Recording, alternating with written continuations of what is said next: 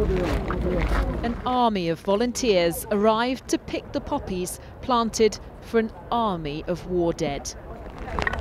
The harvest began despite the rain, and over the next two weeks, almost 12,000 people will gradually remove more than 888,000 stems, each one a British or Commonwealth life lost in the First World War.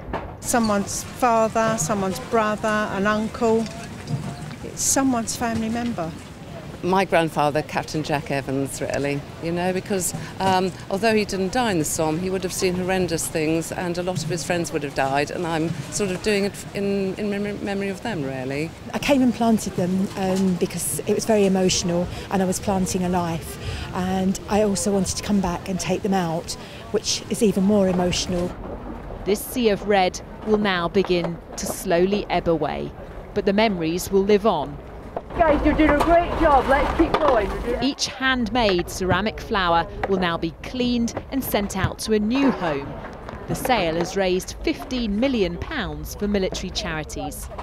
Time for conciliation and, and hope, hopefully putting these wars behind us.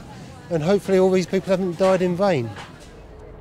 This exhibition might be coming to an end, but the time for reflection goes on. Rebecca Barry, ITV News.